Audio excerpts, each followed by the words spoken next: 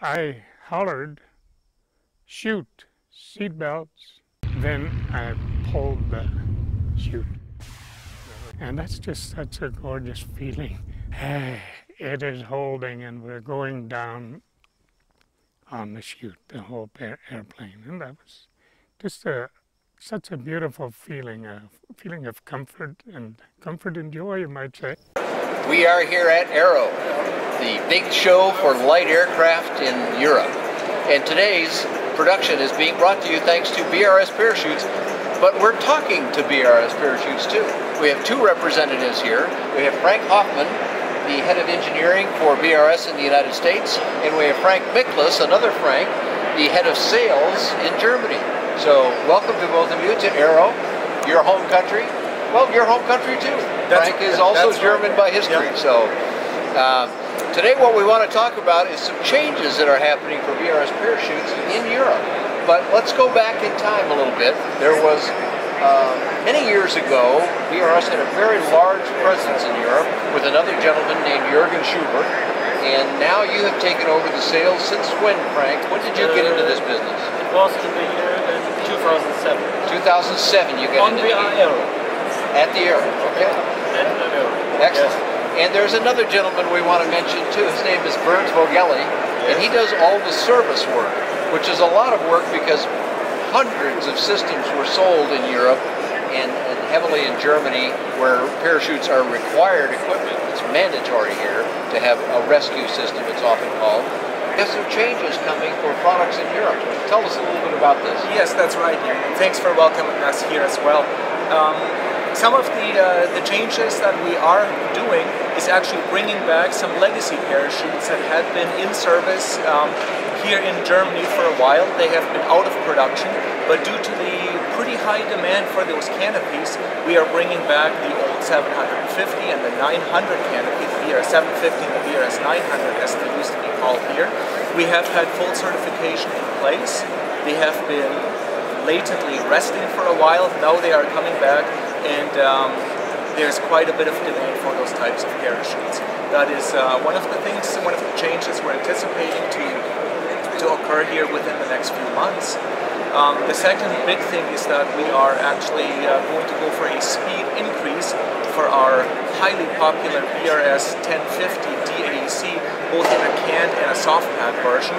Um, that is going to be very attractive for the more higher speed ultralights for which of course there are no speed limits existing in Germany and to um, uh, to account for those uh, for those higher speeds that a lot of aircraft are seeing now, we do want to offer a canopy that that has those higher speed capabilities as well.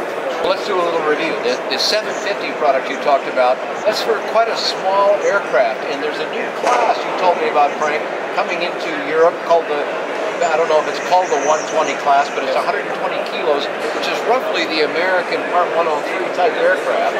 Very similar number. And those require a smaller parachute system like the 750. The size of the parachute is often a little larger than the weight it carries. Uh, that number relates to square feet, does it not? Um, in, in, in most cases, it does. That's correct. Um, there's also some other factors at play, but for those old canopies, that's absolutely right. So, the 900 parachute was the right size canopy for some of those early ones. But then they all got faster. And the gentleman who was uh, instrumental in bringing BRS to Europe, Jürgen Schubert, uh, went to BRS, I think, back when and said, we need a we need a bigger parachute yet for the 472 class that was coming.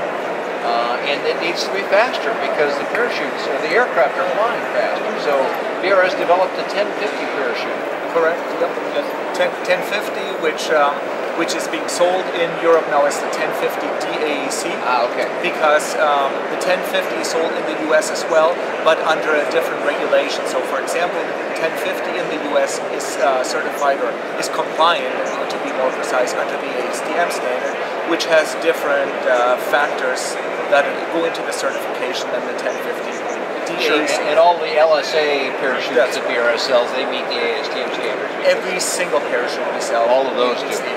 But the uh, in uh, Germany, there's a separate set of regulations, and they're administered by the Deutsche Aero Club, which yes. is the DAEC that you're That is absolutely correct. Okay, but now you're going to uh, try and achieve some greater speed. Will that take more testing?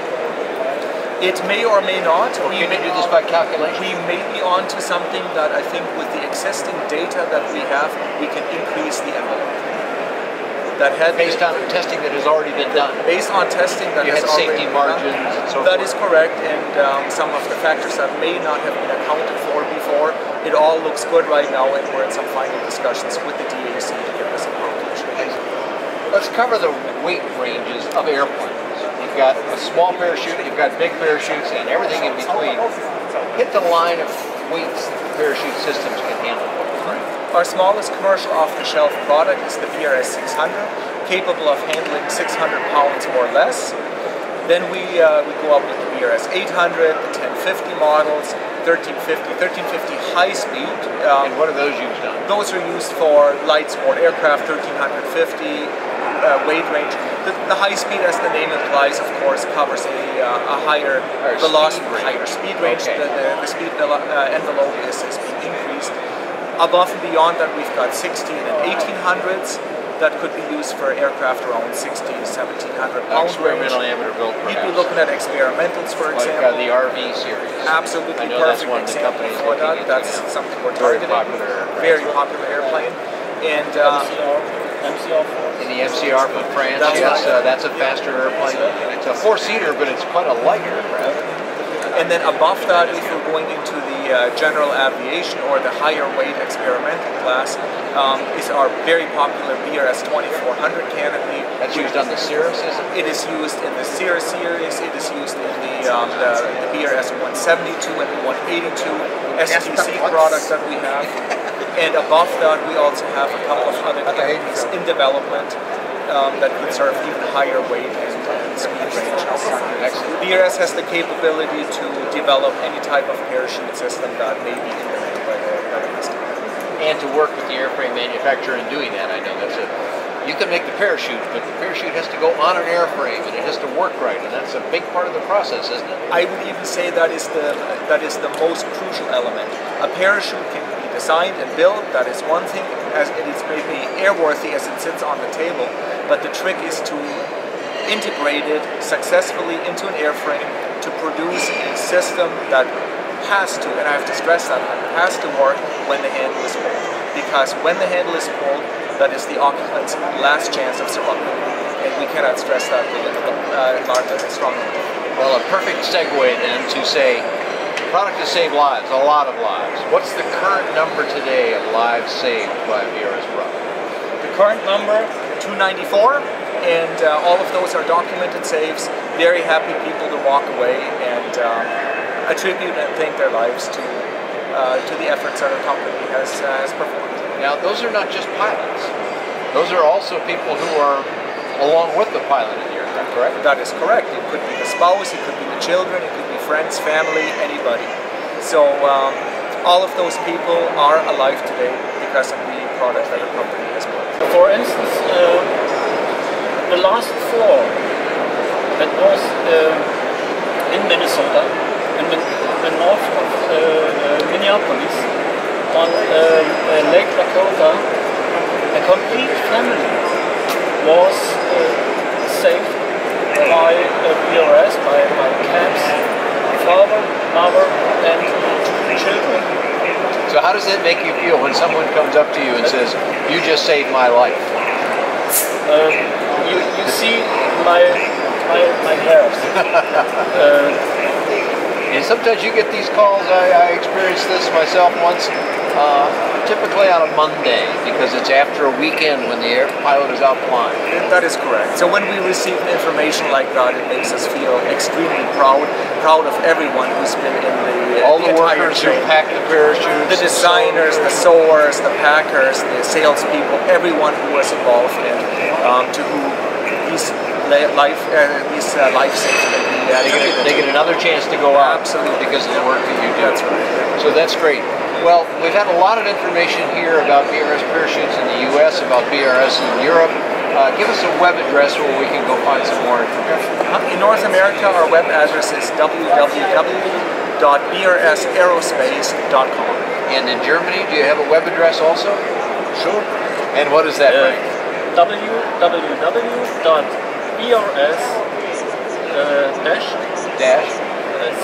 www.brs-sales.de or www.brs-vertrieb.de. Okay, great. We'll put those up on the screen. Thank you very much for talking to us today. I have lots of information about BRS parachutes on my website as well, and the links to the uh, web pages you just heard at bydanjohnson.com or bydanjohnson.com. Thanks so much for joining us here at Aero. Keeping life in a good-natured perspective is a common practice of pilots. Come on. Come on. Rancher and pilot Albert Kolk will tell you that.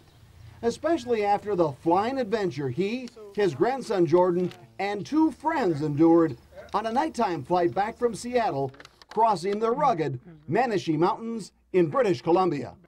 It was a beautiful night. You could distinguish that. You could distinguish the odd river and some water below, but that's about all. There was no moon, but uh, very bright, clear night. So everything was going well until uh, something went wrong.